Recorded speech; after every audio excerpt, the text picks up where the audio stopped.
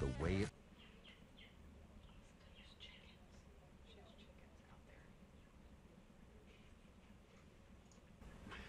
Good morning. We're back on Morning Coffee on Radio Vision Network. I'm Gary Frisch here with Reputation Rap.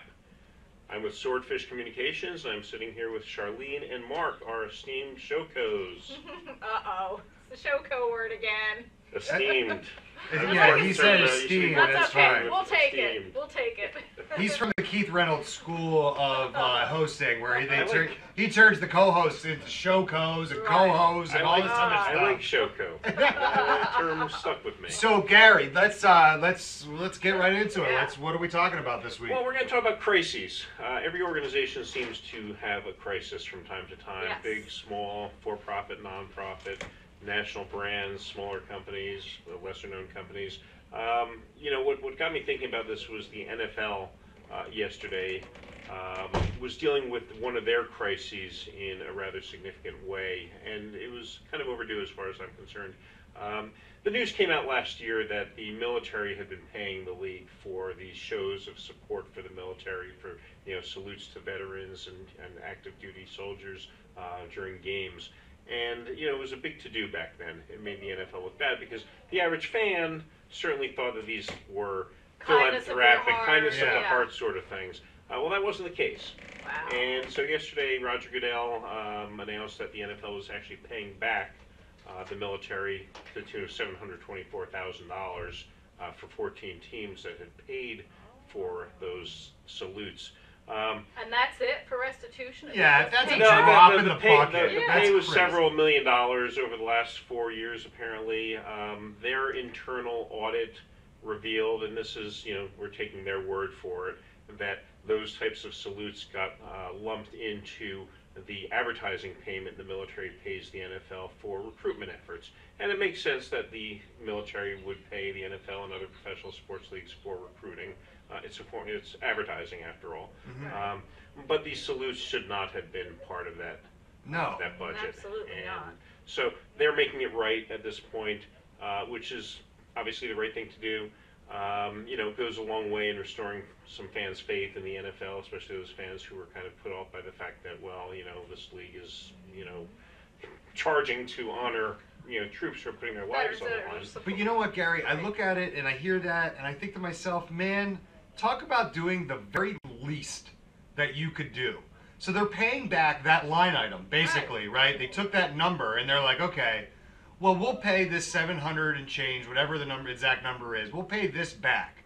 But they had a real opportunity there to say, listen, we're going to pay back the 700,000 and we're going to give 500,000 to the Wounded Warrior Project Yeah, Right. yeah. or some other uh, veteran service, right? We're talking about a million dollars in a in a league that generates billions, billions. right? So this would have been a move that that he would have been able, Roger Goodell would have been able to really shine a positive light on the league by saying, "Look, we realize this was wrong. We're paying it back, And we're doing and this. We're ma- and we're matching the amount with with uh, And, charity and that's donations." if you believe their story that this was accidentally grouped into the Right. Yeah. accounting for the other thing. Uh, you can never be sure whether or not that's just uh, lip service at this point Right. in time. Uh, you know, damage control, so to speak. And that's what crisis communications is. It's, it, it's damage control. So my question is, if you're not a huge organization like them, and you're a small business, and you have an issue, how do you handle this damage control or crisis PR management? How do you do Well, it? Well, the first thing is to recognize it before it happens if there's going to be an issue, and that could be a matter of, you know, uh, what your uh, tonality is, you know, what the optics are of what you're going to do. And that's why um, heads of, you know, the C-suite should be involved. I'm sorry, that's why uh, the marketing and PR department should be involved in decisions made on the C-suite level, so they can uh, give that point of view that the executives might, might be overlooking. Uh, that's the first thing to try to avoid in the first place. Uh, beyond that, once a once a crisis occurs, you need to you need to own it. Um, quite simply, you need to take charge of it. You need to uh, find out why it happened. You need to explain why it happened, and you need to rectify the situation as Right. quickly as possible to regain the trust of customers and your other constituents, parents, um, you know, Right. government agencies, whatever your audience is. And um, you know, what it, what it comes down to is having a plan.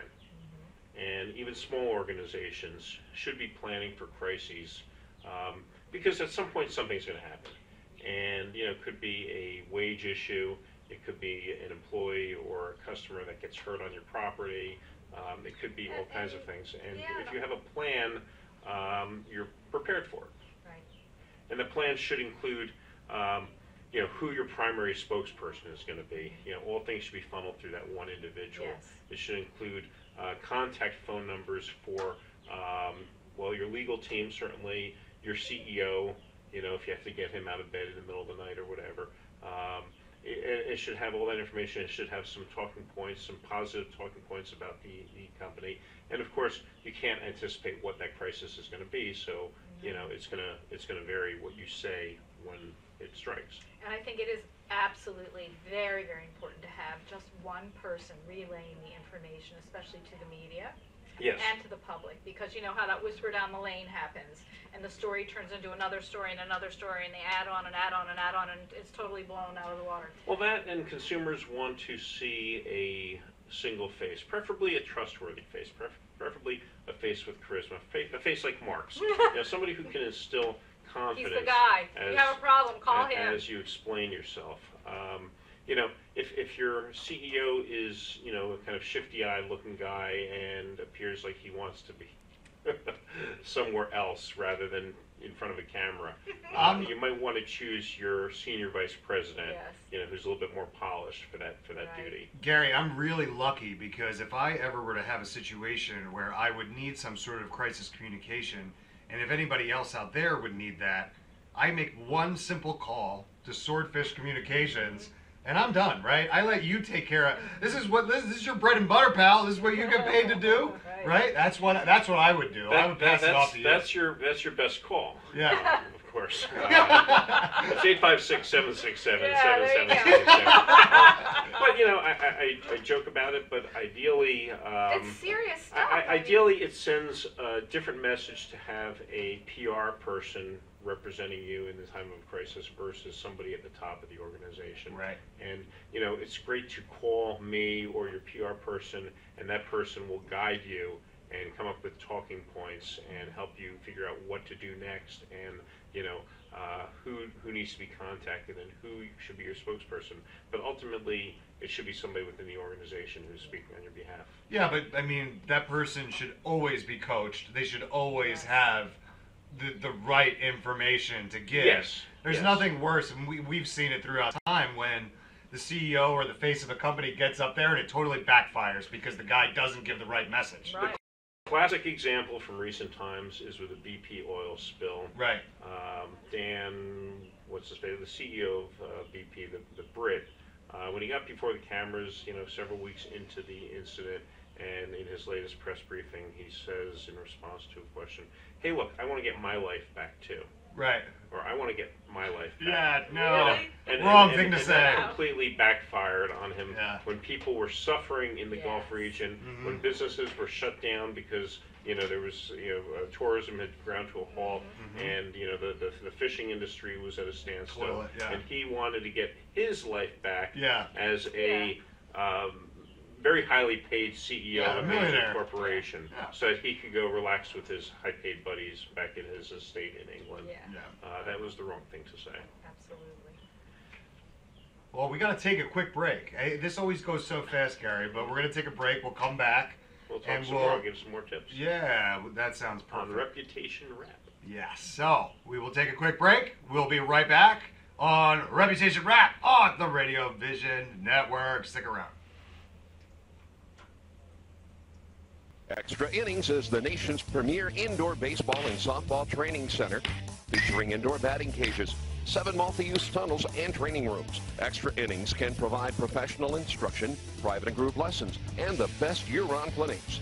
Along with a nationally recognized pro shop that features the latest and widest selection of equipment and apparel, our experienced staff can provide you with the right instruction and help you find the best equipment for your ability and budget. Extra Innings, where the game never ends.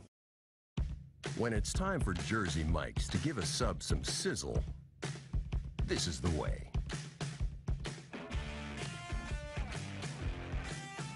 the way it's always been. The way it always should be.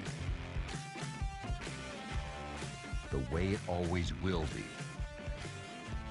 Because that's just the way it's supposed to be. Jersey Mike's. Be a sub above. Today's show has been sponsored by More Than Gifts. Come see our new location in Marlton, New Jersey. Not just gifts, but more. Today's show has been sponsored by Farmers Insurance in Voorhees, New Jersey. To protect your assets and the people you love, call Mike Skoranek, your local Farmers Insurance agent, at 856 336 2553. We are farmers. Bum, bum, bum, bum, bum. Welcome back to Reputation Rap on Morning Coffee, part of the Radio Vision Network. I'm Gary Frisch with Swordfish Communications. We're a PR agency, and I'm with Charlene and Mark.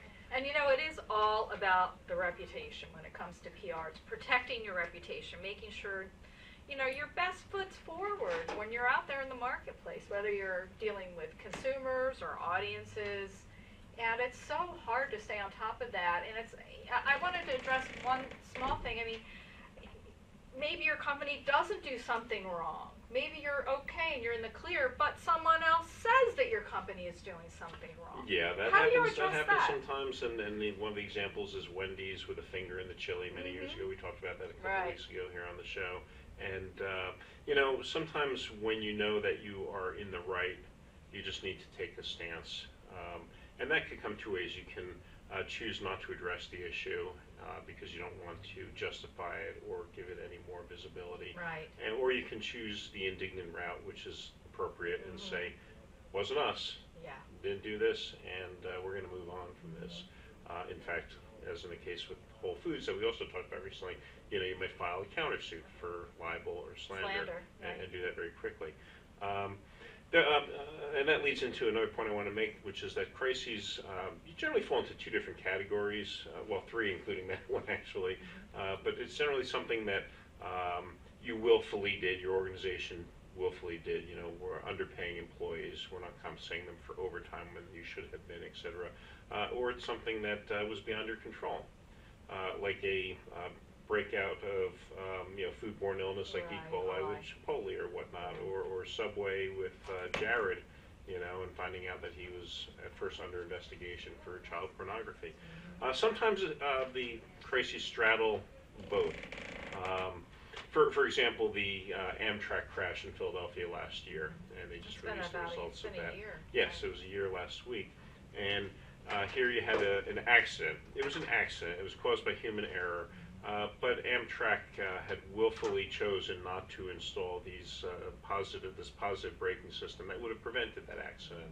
Um, you know, for whatever reasons, budgetary or whatnot. So it was a case where uh, they're going to be um, held responsible ultimately Right. for what was essentially an accident. Um, but um, that's that's more rare. Usually, it's one of the other two. And when you're dealing with a crisis, regardless of which type it is, uh, the first thing you need to do is come up is provide a you know a mea culpa, uh, which literally means I am culpable. Right. Uh, we are responsible for this, regardless of how it happened. We are responsible for this. Yeah. We're going to make it right. And so then the next question, from a planning standpoint, in a situation is, uh, how do you go about making it right? Yeah. Well, the first thing to do is to make sure uh, all your constituents are completely informed. And in compliance with what you're doing. Yes. Yeah. And the second thing you need to do is uh, figure out a way to uh, address the problem, uh, make sure it doesn't happen again. That might mean, you know, heads roll, you know, uh, firing individuals who were involved. Um, you know, the CEO of Volkswagen, who was uh, unceremoniously fired after the emissions scandal, um, they brought in the uh, head of the Porsche division to run Volkswagen.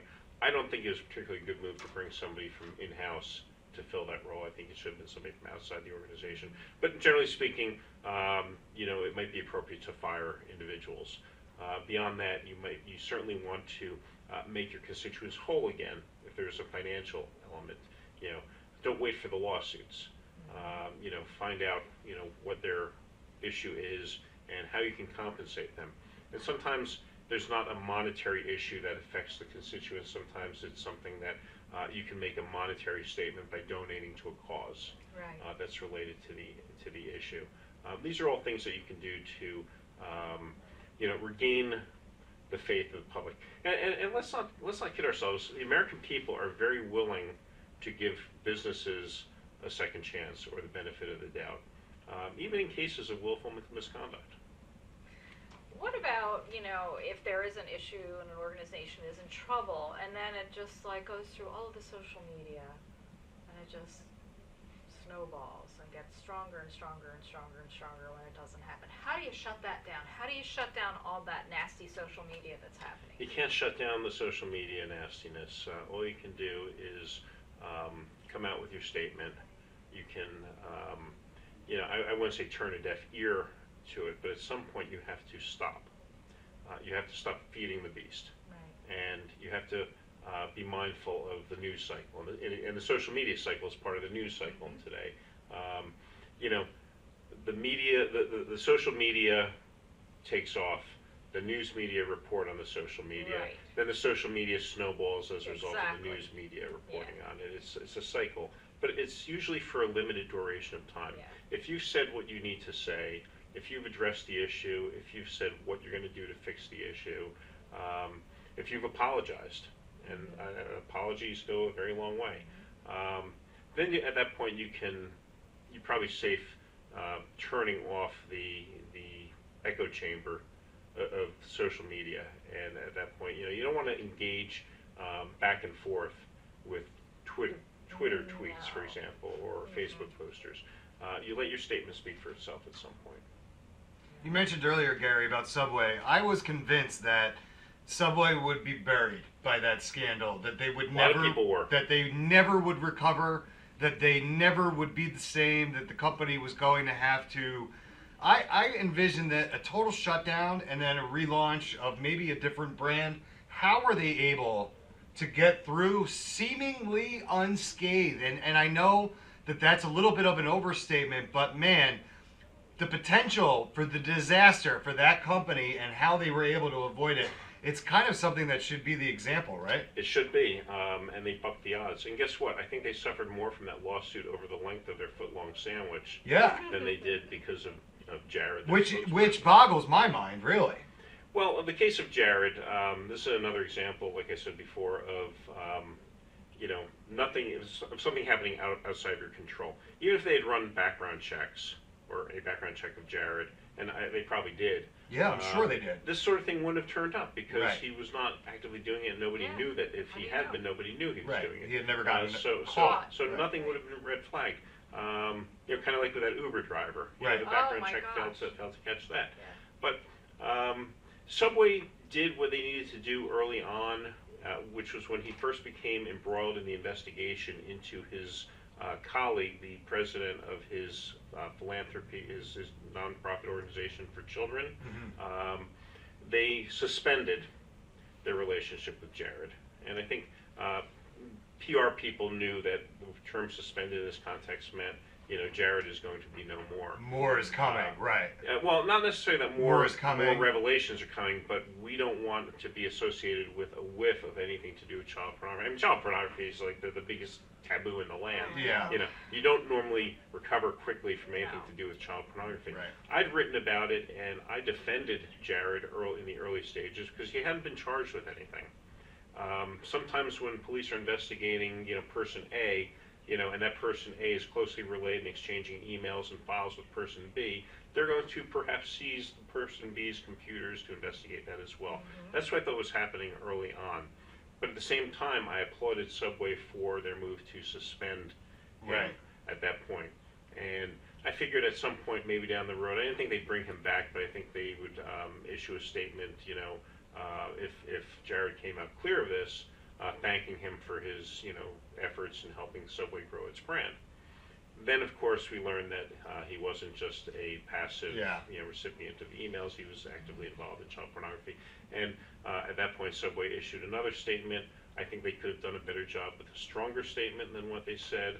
Um, they said something to the effect of um, his actions don't um, don't adhere to the values uh, of Subway, which you know, that's that's PR speak, and it Yeah. always kind of makes me uh, smile a little bit or Yeah. chuckle a little Cringe, bit because yeah. I'm thinking, for what company out there Right. is child pornography adhered Yeah. to its core values? Yeah, it really is. It's it's crazy because y- you know uh, the company was was able to uh, sustain it, but you talked about the American public being forgiving, and in the same vein, they almost were able to separate Jared from Subway in a lot of ways. Where to me they were one and the same because I don't eat their sandwiches, And, and right? it's not a case where this had been happening for a while. They were still actively involved in Jared, but when this happened and they suspended the relationship, every every whiff, every iota of Jared, in any of their sanctioned marketing campaigns was offline. Yeah. You know, uh, I said I said uh, Subway has failed. If anybody can Google, can go on YouTube and find a Jared commer- a, new- uh, a recent Jared commercial at this point. Yeah. And so I think they did a good job whitewashing the whole, uh, not whitewashing Erasing- the incident, trying to erasing erase it, erasing yeah. Jared from their current marketing campaign. yeah.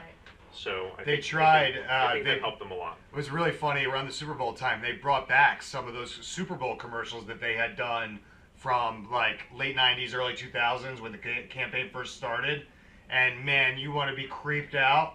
It's like Jared, a cartoon version of Jared on a playground with all, it's like, and this was a Super Bowl commercial. And when it aired, everybody was probably like, oh, this was great. And then you look at it, Yeah. whatever it was, 15 years later, and you're like, man, this. That's got a different context now." I have now. not seen that. Yeah. But uh, yeah, but they make a good sandwich. I'm a fan of Subway, and uh, you know their marketing campaign has gone back to the food as a result. Yeah, well, you gotta you gotta stay with what works, right? That's, so Gary, this always goes so fast. The reputation rap, you give such great information. Uh, we're running out of time again, but I want you to make sure that you give everybody your information and they can get in touch with you. Company Swordfish Communications. We're online at www.swordfishcom.com. And if you are uh, if you uh, are on Amazon, was it, the Kindle or Oh, Amazon. Yeah. all Kindle. that stuff, check out uh, Gary's book Squeeze Play. coming Just- soon as a hard copy as well. Oh, search great. search it out. Uh, check it out. I, I, you know, I, I, I know it's been a week, Gary, since you gave me the card, but I will. I, I will scan the card and order a copy. Squeeze Play is the name of the I book. think you'll like it. I, I'm I can't wait to get it. So this is Gary Frisch. He's from Swordfish Communications. This is the Reputation Rap on Fridays morning coffee. So we got to take a quick break, Charlene. Yes, we do. We thank Gary for coming in. We got to take. Uh, did I just say we got to take a quick break? Oh yeah, because we got to take a quick break. We'll be right back on Morning Coffee on the Radio Vision Network.